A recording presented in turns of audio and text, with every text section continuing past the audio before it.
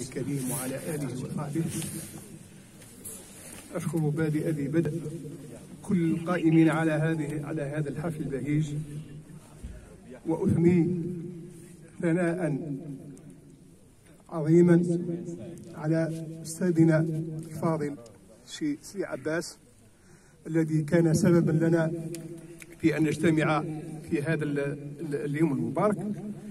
كما أود أن يتخذ آه، هذا الأستاذ نموذجا لبقية آه، شبابنا ولجميع أطفالنا الذين آه، الذين هم الآن في في يتمدرسون بالمؤسسات. لقد تربى هذا الأستاذ على خلال طيبة وعلى خصال حسنة مما أهله إلى أن يتبوأ هذه المكانة العالية من العلم.